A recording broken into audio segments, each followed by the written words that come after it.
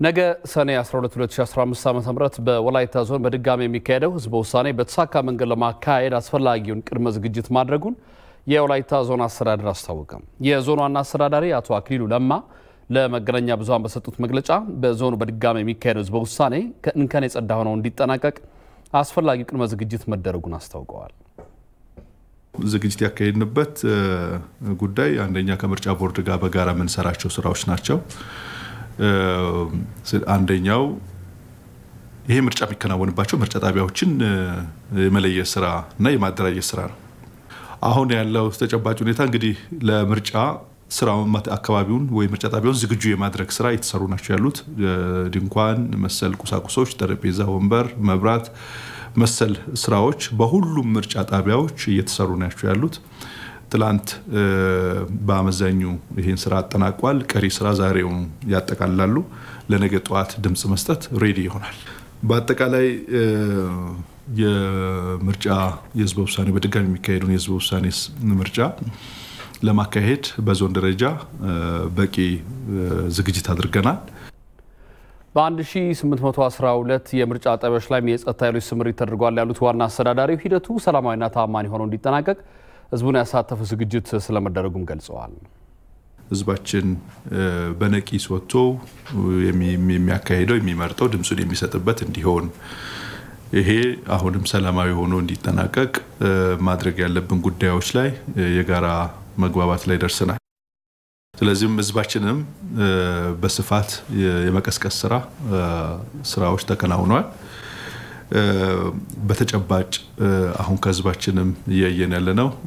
በላቀ ደረጃ በቁጭትም ይህንን የነገውን የድምፅ መስጠት ስራውን እንደሚያከናውን ገምግመናል።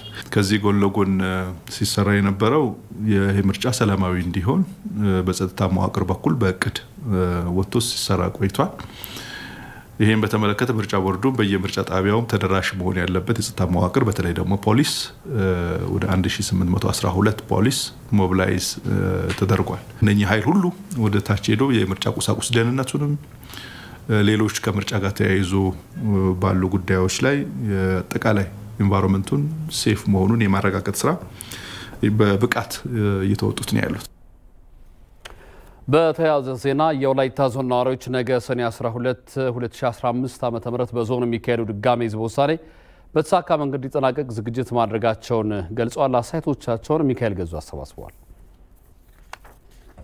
ቀደም ሲል የተደረገው ምርጫ ላይ ስህተት አለበት ተብሎ ከተነገረ ወዲህ ጊዜው አጭር ቢሆንም ህዝቡ ለዚህ በነቂስ ወጥቶ ለመምረጥ እያንዳንዱ እድሜው የደረሰ ሰው ካርዱንና የምርጫውን ቀን አንድ ላይ ስለሆነ እሱ እየተጠባበቅን ነው ያለ ነው። እንደ ግለሰብ እኔ በጣም ተዘጋጅች ያለው የእኔ ቤተሰብ በጣም ተዘጋጅተናል። በጠዋት ወጥተን 12 ሰዓት ወጥተን የራሳችን ዴሞክራሲያዊ መብታችን ተጠቅመን ልንመርጥ ተዘጋጅተናል። 11 ሰዓት ተኩል እነሳለሁ ብዬ ነው በራሴ በኩል ያሰብኩኝ። እኛ ግቢ ውስጥም አሁን ተከራዮች አሉ። አስነስተን ሁላችንም በ11 ሰዓት አካባቢ ወጥተን ነው ሰልፍ መሰለፍ ያለብን። ላይደርሰን ይችላል። ቀን ሙሉ እዛ ልንሆን ይችላለን አይደል? ሰልፉ ለዛ እኛም በሌሊት እንነሳለን ብለን ነው ያሰብነው። መታወቂያውን ይዞ ወስዶ ነው ካርዷን የሚጥለው። ያን አሁን በጣም ደስ የሚል ነገር ነው። ሆኖ ወጣት ሁሉም ሆ ብሎ ተነስቶ እንዲመርጥ እኔ በኩል ያለው ማስተላልፈው ይህን ነው። ወደኋላ መቆጨት አያስፈልግም። አሁን ነው ወጥተክ የተሰጠህን መብት ተጠቅመክ መድረስ ያለብንን የራሳችንን ቁጥርም ቢሆን ማምጣት ያለብን በነገዋ ቀን ነው። ስለዚህ ከመቆጨት ሁሉም ሰው ህብረተሰብ ከኋላ ከመናገር ከመቆጨት ወጥቶ የራሱን መርጦ መግባት አለበት ነው እኔ እንደምለው። ህዝበ ውሳኔ ሌላ ድምፅ አይደለም፣ ከሌላ የሚፈጠር ነገር አይደለም። እኛንን ወጥተን የመረጥ ነው የመረጥነውን ደግሞ የእኛን ድምፅ መልሰን መቀበል ምንም ያን ያህል ለእኛ የሚከብድ ነገር ስላይደለ የተሰጠውን ድምፅ የመረጥነውን የእኛን ድምፅ ምንም ይሁን ምን ያንንም ጭምር በጸጋ ለመቀበል ድምፃችንን ለመውሰድ ተዘጋጅተን ከሰላም አንጻር ደግሞ ያው እኛ መጀመሪያም ወላይታ ሰላም ናት እንደምታየው ያው ተዘዋውራችሁን ብታዩ እኛ ሰላም ናት ሀገራችን፣ በፊትም አሁንም ሰላም ናት። ይህ ምርጫው እስከሚጠናቀቅ ድረስ ሁላችንም ጎን ለጎን ሆነን ሰላሟን አስጠብቀን ምርጫውን በሰላም ለማጠናቀቅ ዝግጁ ሆነን ነው ሁላችንም ያለ ነው በየአካባቢያችን። ህዝቡ በሰላማዊ መንገድ በሁሉም በኩል ሰላሙን እየጠበቀ ያለ ህዝብ ነው። ነገም በሰላም አስፈጻሚዎቹም ጨርሰው በሰላም ወደ ቤተሰቦቻቸው እስከሚመለሱ ድረስ እያንዳንዳችን ዘብ ቁመን እየጠበቅን ነው ያለ ነው። ከእኛ የሚጠበቀውን ነገር ለማድረግ በጣም ተዘጋጅተናል። ያው ህዝቡ አካባቢውን ቢጠብቅ ሁሉም አካባቢ ሰላም ይሆናል። ይህንን ሰላም ደግሞ ለመጠበቅ ያው ከግለሰብ ስለሚጀምር አሁን ከኔ ጋር ያሉ ቤተሰቦቻችን ግቢ ያሉ ሰዎች ሁሉ በሰላማዊ ሁኔታ በጊዜ ወጥተው እንዲመርጡ በጊዜ ወጥተው ድምፃቸውን እንዲሰጡ ተዘጋጅተናል። ይህ በእንዲህ እንዳለ በወላይታ ዞን ነገ በድጋሚ በሚካሄደው ህዝበ ውሳኔ መራጮች ከማለዳው 12 ሰዓት ጀምሮ በየምርጫ ጣቢያው በመገኘት ድምፅ መስጠት እንደሚችሉ ብሔራዊ ምርጫ ቦርድ አስታውቋል።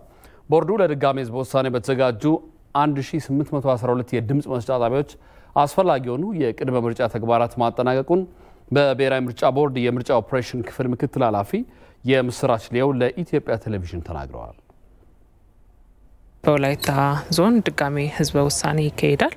ለሱም ዝግጅት ቦርዱ በተሟላ ሁኔታ ተዘጋጅቶበት አብዛኛዎቹን ስራዎች ቅድመ ምርጫ ስራዎች አጠናቋል። ይህንንም ማለት ለምርጫ ቀን የሚያስፈልጉ ቁሳቁሶችን ማለትም የድምጽ መስጫ ወረቀቶች፣ የመዝገቦች እንዲሁም የተለያዩ ፎርሞችን ቅጾችን ልከን ወደ ምርጫ ጣቢያ በ1812ቱ ምርጫ ጣቢያዎቻችን ላይ ደርሰዋል። እነዚህ ቁሳቁሶች አሁን ላይ ያለን security wise ፖሊሶች የዞኑንና የክልሉን ፖሊስ በመጠቀም ሁሉም ምርጫ ጣቢያዎች ላይ ፖሊስ እንዲገኝ ተደርጓል። ይህም ከአስተዳደሮቹ ጋር በጋራ ሆነን የሰራንበት area ይሆናል ማለት ነው። ሪፖርተራችን ሚካኤል ገዙ እንደዘገበው ቦርዱ ከአዲስ አበባ በመመልመል ያሰለጠናቸውን 5215 እንደዚሁም ከወላይታ ዞን የመለመላቸው 3845 አስፈጻሚዎች በምድብ ጣቢያዎቻቸው እንደሚገኙ ያመለከቱት ኃላፊዋ መራጮች በነገው ዕለት ከማለዳው 12 ሰዓት ጀምሮ በየምርጫው ጣቢያ በመገኘት ድምፅ መስጠት እንደሚችሉ አረጋግጠዋል። ድንኳኖች ተጥለው ነው ድምፅ አሰጣጡ የሚሰጥ የሚሆነው። እሱም ከትላንት ማታ ጀምሮ ድንኳኖች እየተጣሉ ነው ያሉት። አሁን ላይ በአብዛኛው ድንኳኖች ተጥለዋል፣ እየተጠናቀቁ ያሉበት ሁኔታ ነው ያለው። እስከ ዛሬ ማታ ድረስ እነዚህ የድንኳን ዝግጅቶች ተዘጋጅተው ተጠናቀው ቁሳቁሳቸውን ይዘው ከነገ ጠዋት 12 ሰዓት ጀምሮ የድምፅ አሰጣጥ እንዲጀመር ይደረጋል ማለት ነው።